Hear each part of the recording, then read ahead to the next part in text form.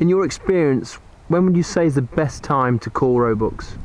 Ooh, well, for years and years and years, I went out during the rut at 4.30 in the morning and never shot anything till after seven o'clock. So at the moment, because I've got clients, I'm going out, I'm in the wood at six. So it's been light for nearly an hour by then, but actually not really having success on bigger bucks till 8, 8.30.